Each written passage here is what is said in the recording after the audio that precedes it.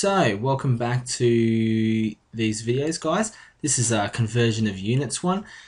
Uh, in this particular video, I'm going to be looking at uh, converting between different dimensions in units. Okay, so we'll be looking at in throughout this entire term term of maths. Uh, first dimensions of length, two dimensions of area, three dimensions of volume. Okay, so I'm going to look at converting the units inside those different um, dimensions, okay? So the first one is when we are converting units of a single dimension, okay? So that's when we're just talking about length. Okay, so familiar, just going to go with the um, meters kind of measure. So if we're going from millimeters to centimeters, okay, uh, as we're going up this scale, we will always divide, okay? So millimeters to centimeters, we will divide. Because there are 10 millimeters in a centimeter, get your ruler out and have a check if you don't believe me, uh, we will divide by 10, okay? And then to go from centimeters to meters, we will divide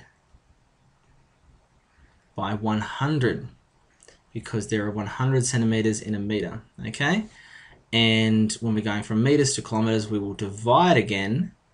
And because there are 1,000 meters in a kilometer, we will divide by 1,000. Right, going the other way around.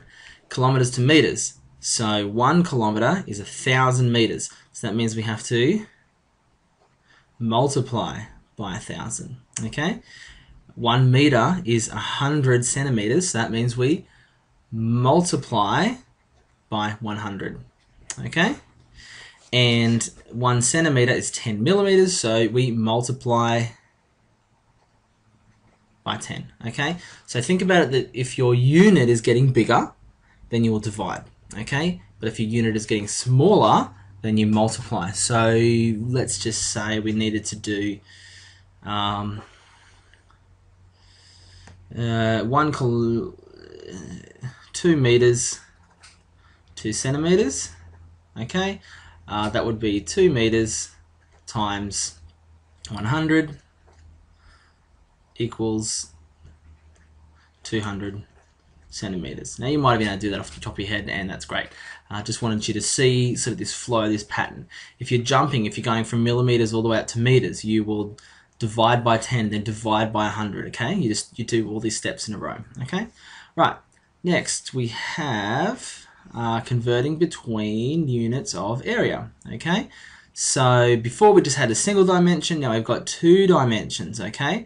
So when we have the units of area in general, okay, so you'll have da, da, da, all these pieces here. Let's say this was in centimeters, okay, and here we have some measurement here, so some y centimeters, some x amount of centimeters. Each of these little pieces in here will be some a cubic centimeter, okay? Sorry, square centimeter, okay? Because it'll be centimeters times centimeters, okay? Um, you know, area of a rectangle is equal to length times width. Let's just say it was 6 centimeters times 4 centimeters. You'll have 24 centimeters times centimeters, okay? Centimeters times centimeters is 24 centimeters squared. Okay, that's why that's kind of why we go to centimeters squared. So when we're doing our conversions, we use the same we use the same kind of thing when we're going up in our scale of units. You will divide. Okay. All right. And when we're going back down, you will multiply. So meters to centimeters squared centimeters squared to millimeters squared, you multiply. Right, similar thing that if we had for our centimeters to millimeters. So let's uh, have a look at that. I'll just scroll back up, give myself some room. Right, let's just say over here, got some square, and this length here is one centimeter, and this is one centimeter, right? Along this edge is 10 millimeters, okay? Because one centimeter is 10 millimeters, all right? So that means along here, one centimeter is also 10 millimeters, okay?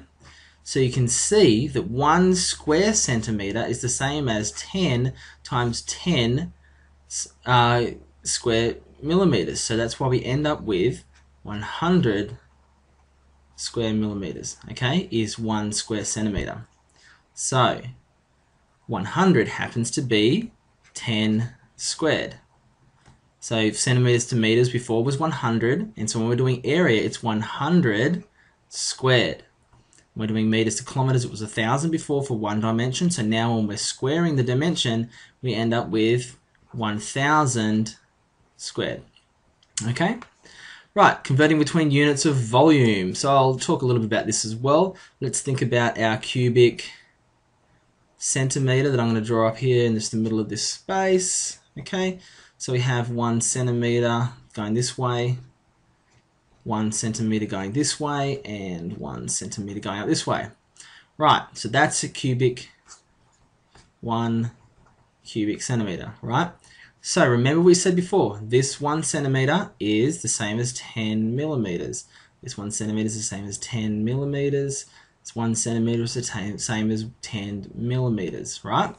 So if we're going from centimeters to millimeters, you'll see that the volume of this cube now in millimeters is 10 times 10 times 10, which is 1,000 millimeters cubed. Okay, so there are 1,000 millimeters cubed within one centimeter cubed. Okay, 10 times 10 is 100, times 10 is 1,000. Okay, so that means that when we go, when we're converting our units of volume, millimeters cubed, centimeters cubed, etc., and we're going up, same thing happens. We divide.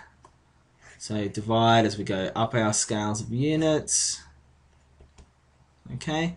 Uh, and when we're going back down again, we multiply. When we're going down, we multiply. When we're going down, we multiply. Okay. Uh, and now before we went 10 10 squared. Now we're up to cubic units. So we have, we multiply or divide by 10 cubed here. Okay, we saw that before. 1,000 is 10 cubed. Here we multiply or divide, depending upon what you need, by 100 cubed. And here we multiply or divide, depending what you need, by 1,000 cubed. Okay, so and so we move up and down the volume one. Now, you will also need to be able to uh, talk about measures of volume. Okay, so before we get into milliliters, liters, and kiloliters, I want to also I want to tell you that one milliliter is the same as uh, one cubic centimeter. Okay, they're the same thing. Okay. Right, so once that's the main thing you want to look at, that if you can get a measurement into cubic centimeters, it's quite easy to go into milliliters because they're interchangeable, okay? So we're going from milliliters to liters, okay? Milli, this prefix here, okay, means a thousandth, okay? So it's a, we were going to, we're going to be multiplying or dividing by a thousand to get between here. So as we go into a larger unit, we divide, and as we're going from to a smaller unit, you will multiply. So there are a thousand milliliters in a liter, okay? Right, kiloliters, kilo. Think about kilometer and meters. There are a thousand meters in a kilometer. So there are a thousand liters in a kiloliter. So if you're going from liters to kiloliters, you will divide by a thousand if you're going kiloliters to liters, you will multiply by 1,000. Right, additionally, just want to let you know that you've had, there's another, in some of the questions, you've been asked to deal with megaliters. Okay, so mega is capital M, L, uh, and that's another 1,000 kiloliters in a megaliter. So when you're going up, you will divide by 1,000, and you will multiply by 1000 when you're going back down the scale, okay? So uh, with this volume conversion units, please don't freak out too much. Um, it's just something that's good to get a handle on because sometimes you do need to be, move between things, especially as you go up into the different areas of science. This kind of learning will really, really, really help you, especially if you get into chemistry or physics. There is so much being able to deal with different units and transmitting quite easily between them, okay? Uh, thank you for watching.